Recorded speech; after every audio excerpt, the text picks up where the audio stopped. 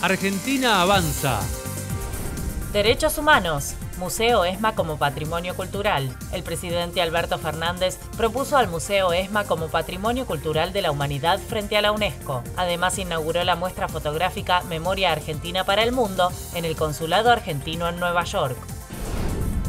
Salud. Acuerdo de precios en medicamentos. El Gobierno Nacional prorrogó hasta el 18 de noviembre el acuerdo con el sector farmacéutico. El precio de los medicamentos no aumentará por encima del índice de precios al consumidor. Obra pública. Nueva autovía en Plotier. El Ministerio de Obras Públicas inauguró 16 kilómetros de la Ruta Nacional 22 en la localidad neuquina. La autovía entre Plotier y Arroyito mejora la seguridad vial y la circulación de un corredor que integra a la región.